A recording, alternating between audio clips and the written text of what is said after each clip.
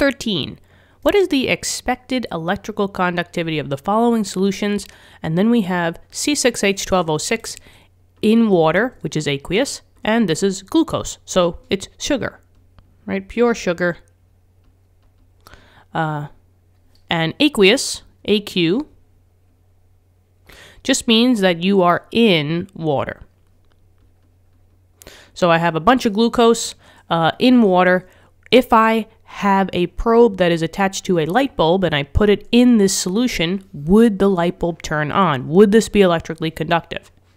Um, well, there's a couple of ways to go about this, kind of like process of elimination. The first thing that I would look for is whether C6H12O6 is one of my six strong acids or strong bases. And I put them down here for you guys at the bottom. You probably have to memorize these. Uh, but C6H12O6, glucose, it doesn't make the cut, right? Glucose is the primary um, energy source for us, right, in our body. Um, so it wouldn't be classified as a strong acid or a strong base. But just know that these, if you encounter any of these, these are going to have high conductivity. Which means that if you have this conduct conductivity, which means that if you have any of these um, ions or these compounds, aqueous style, uh, that light bulb is going to turn on. They are very highly conductive because if you uh, if you're going to have electrical conductivity, you just need to see ions in solution. So you have to have positives and negatives, right? Positives or negatives. Uh, but glucose does not break down in in uh, water, right? So now I say to myself, well, is this an ionic compound or is this covalent? I see only nonmetals here. This is purely covalent. Generally, ionic compounds would also be highly conductive because they would be positive and negative in the solution of water.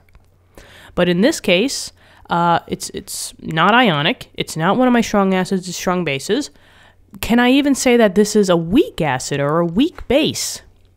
Now, generally, in the style of weak acids and weak bases, right, you would see an H that's, you know, on one side of the end of the compound.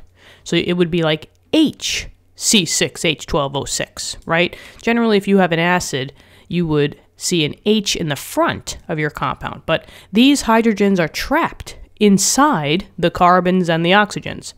So they write they write these compounds for a reason, just to kind of denote, you know, whether it's an acid or a base. So this is, you know, neither acidic or basic.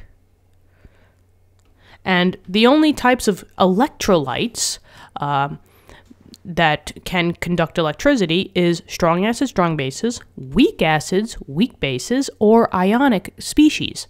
All other ones that don't fit in there is not going to conduct electricity. So this one, glucose, C6H12O6, would have no conductivity. So if you did have a, a, bunch of water, you throw some sugar in there, and it's just got to be purely uh, glucose in this case, right? Uh, table sugar is not glucose, it is sucrose, uh, which is just a combination of, I believe, uh, glucose and fructose. Um, but in this case, if you try to run a wire to a light bulb and you just have glucose in solution, the light bulb is not going to turn on. So that's it. I hope this helped. Let me know in the comments. Thank you so much for viewing the video. Subscribe to the channel, and I look forward to helping you out in more questions. So stay with the videos. This is the fastest way for you guys to excel on your tests and quizzes just by doing practice problems. You could read a textbook all day long, but when it comes to test time, you're just going to see questions on your test, right? Not asking you to read a passage. So just as long as you keep doing the problems, doing the problems, it's the best bet to uh, prepare for any test or quiz, I believe. Um, so thank you so much, and I'll talk to you later. Okay, bye bye.